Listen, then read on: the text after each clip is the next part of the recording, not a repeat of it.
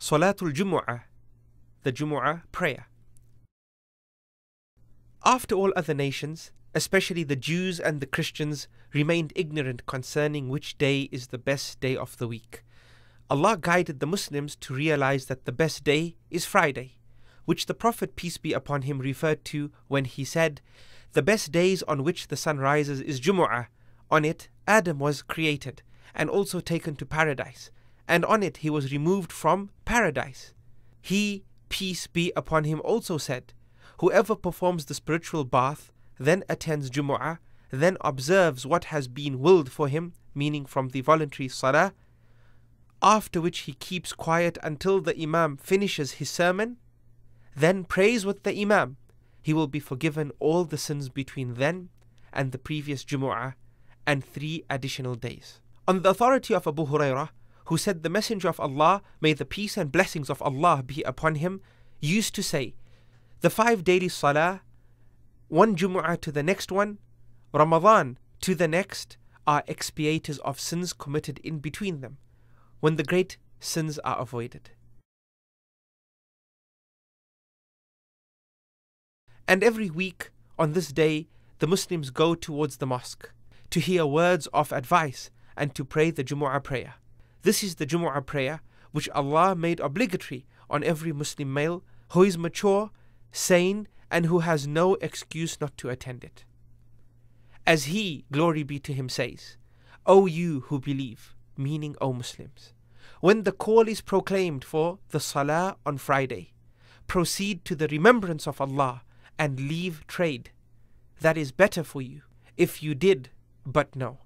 The Prophet, peace be upon him, referred to it in his saying, People should desist from failing to attend Salatul Jumu'ah, otherwise Allah will seal their hearts and they will be among the negligent.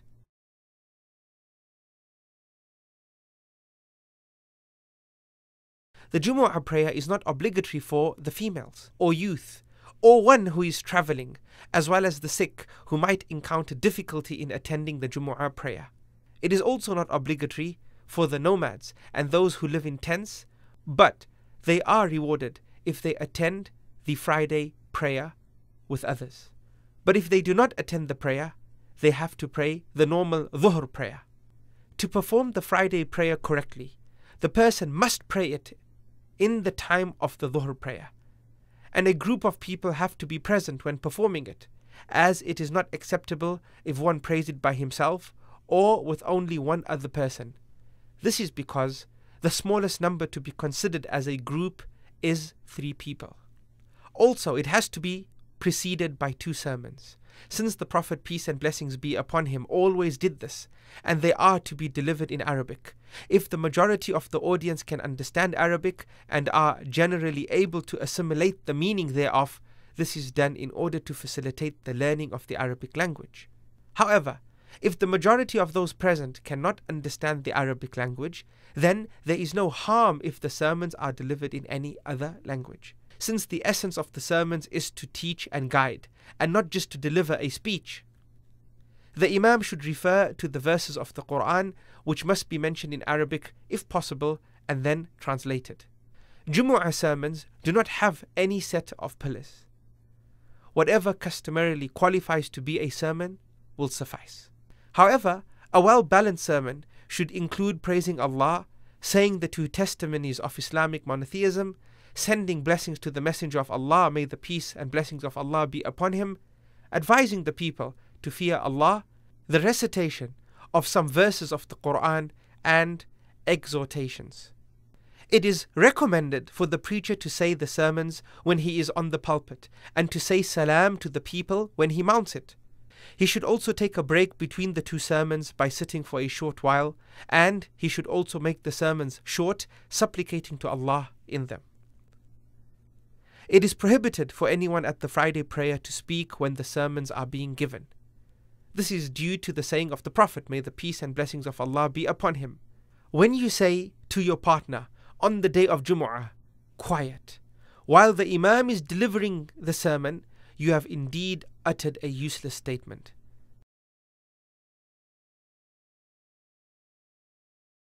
And it is discouraged to walk in between seated people except if the person is the Imam, or he is walking to fill an empty space which he cannot get to except by walking in between them.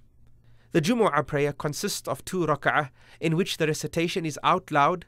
It is sunnah to recite in the first rak'ah after the Fatiha Surah Al-Jumu'ah and in the second after the Fatiha Surah Al-Munafiqun or to recite Al-A'la in the first and Al-Ghashiyah in the second. It is important for a Muslim to be particular to arrive at the mosque on time for Salatul Jumu'ah. In fact, it is preferred to arrive early.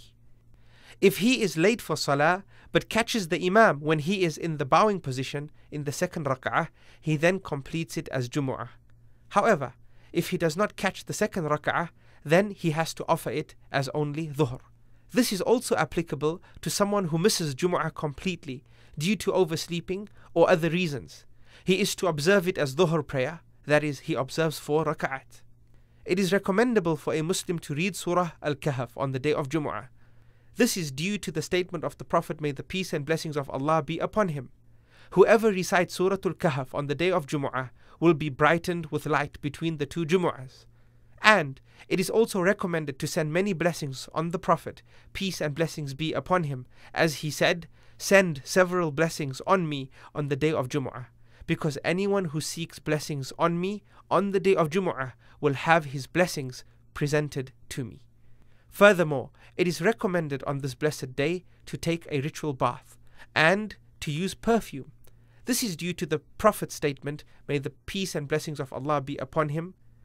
A man who performs the spiritual bath on the day of Jumu'ah cleanses himself as best as he can, rubs oil on himself, or perfumes his body, then goes out, meaning to the mosque, and does not separate two men sitting together in the mosque, then he observes whatever is written for him, meaning from the voluntary prayer, and keeps mute or silent while the Imam speaks or preaches, will have his sins between that Jumu'ah and the next forgiven.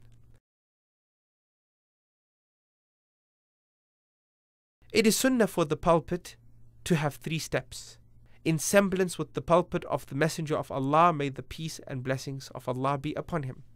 But it is not a sunnah for the people to sit before Jumu'ah to listen to someone reciting some verses of the Quran for them until the adhan that is said for the Jumu'ah is called. Also, reading rhymes and supplications in groups and through loudspeakers is not a sunnah either. When a person comes to the mosque, and the Imam is already delivering the sermon, he should observe two short raka'at before sitting down. This is due to the saying by the Prophet, may the peace and blessings of Allah be upon him. When any of you comes to the mosque on the day of Jumu'ah and the Imam is preaching, he should observe two raka'at and must not be long in them.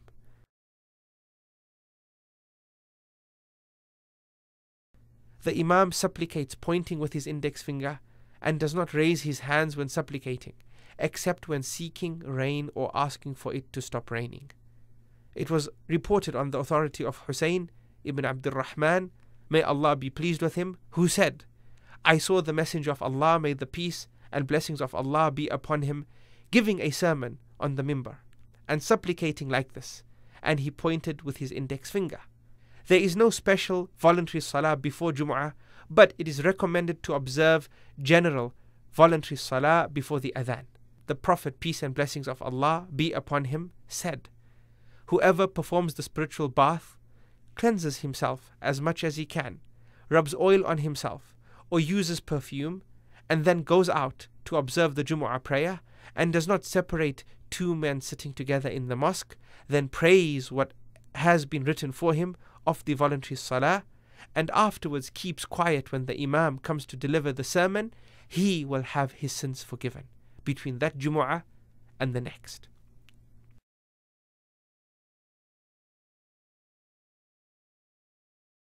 After Salatul Jumu'ah, he should observe two voluntary rak'at, as has been recorded from Ibn Umar, who said, The Messenger of Allah, may the peace and blessings of Allah be upon him, used to observe two rak'at in his house after Jumu'ah, or four rak'at.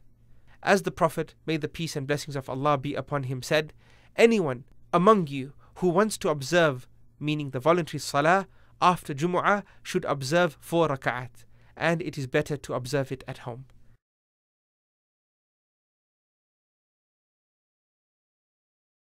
When the Eid and Jumu'ah fall on the same day, it is better for one to observe both salahs. However, if he prays only the Eid prayer, he would definitely be required to at least observe Dhuhr. Thus, it is permissible for people residing in towns which are very far away from the central mosque not to return for Salatul Jumu'ah on that day. It has been reported on the authority of Iyas ibn Abi Ramlah Ash-Shami, who said, I heard Muawiyah ask Zayd ibn Arqam, Have you witnessed the meeting of two Eids, meaning Jumu'ah and Eid, on the same day during the time of the Prophet, peace and blessings be upon him? Zayd replied, Yes. The Prophet observed Eid in the early hours of the day and thereafter permitted people not to attend Jumu'ah.